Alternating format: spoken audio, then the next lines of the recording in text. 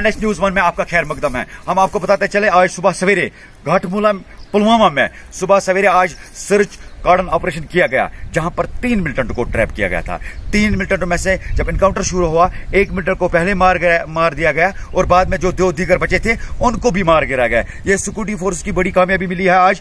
पुलवामा कश्मीर से। और हम आपको बताते चलें कि ये जो तीनों मिलिटेंट थे, ये कल, जो कल नौगाम बाईपास में इनकाउंटर हुआ, मोहम्मद अनवर खान जो बीजेपी के लीडर थे, उसके घर पे जो हमले में ये मुलविस थे। और उन्होंने कल एक कांस्टेबल रमीज राजा को भी हला किया गया था। लेकिन आज क्या है कि आज उनको, आज पुलवामा साइड में इनको ट्रैप किया गया, आज सुबह सवेरे, और बाद में उनको तीनों को हला किया गया। बताया जाता है कि वहाँ पर आज पुलवामा में सुबह सवेरे छोटे छोटे पथराव भी रुनमा हुए हैं, और उन पथराव में तीन सिविलियन जख्मी हुए हैं जिसमें एक इशरत जान, जो सांबूरा पांपुर की रहने वाली है, और एक गुलाम नबी ढार, जो बाईस साल नौजवान है, और एक नौजवान। वो जख्मी हुए हैं, उनको नजदीकी अस्पताल लिया गया। बाद में उनकी शदीद चोटों की होने की वजह से S M H Srinagar refer किया गया है। मैं Irshad Wani, NH news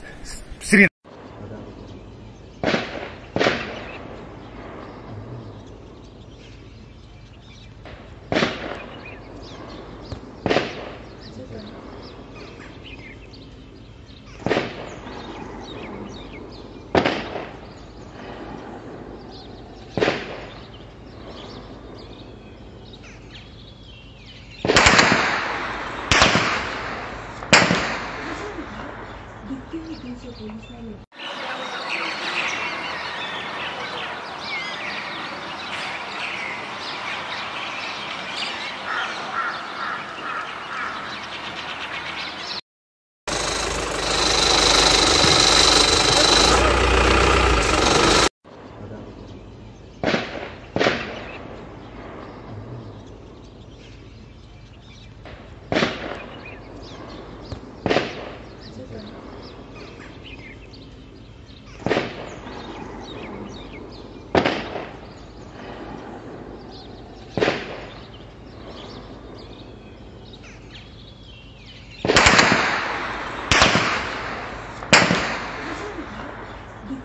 Sopirnya!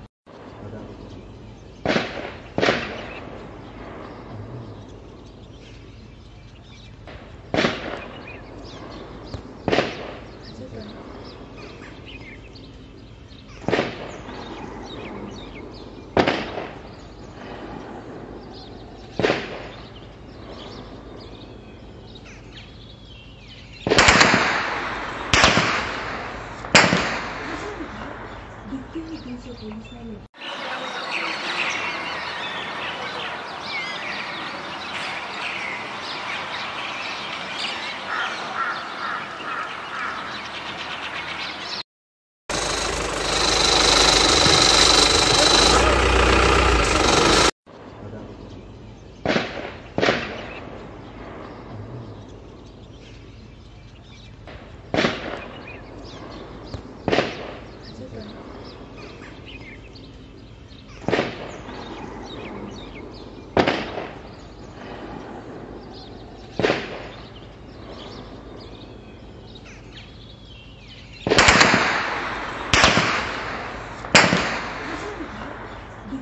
কিন্তু পুলিশ নেই